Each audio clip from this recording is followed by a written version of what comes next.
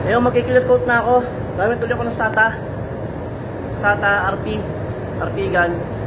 Ah, 2 coats lang to. 2 bar at saka ano, 2 bar ang air pressure tapos fully open lahat.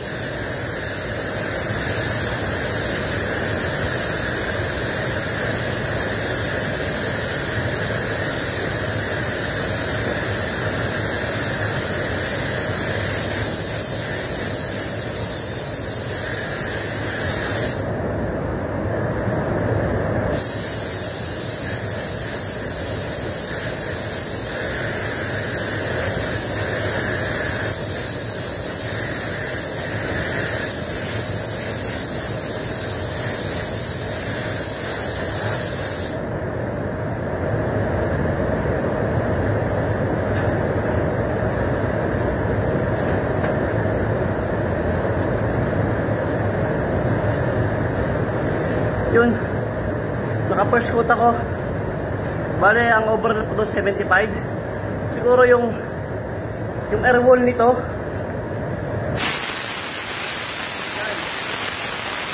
yung distance ko sa pag-clear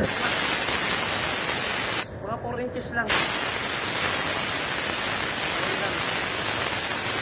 Yun, ito yung pinaka ano ko basehan ko ng ano ng pinaka ano niya ng pinaka distance niya sa pinaka anong optimization yung air wall yung parang sumisipol na siya. Yun.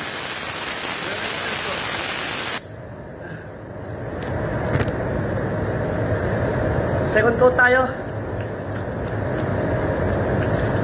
Bali ano to pa pa 800 grams.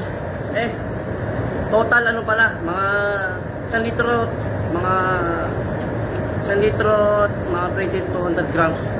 600 600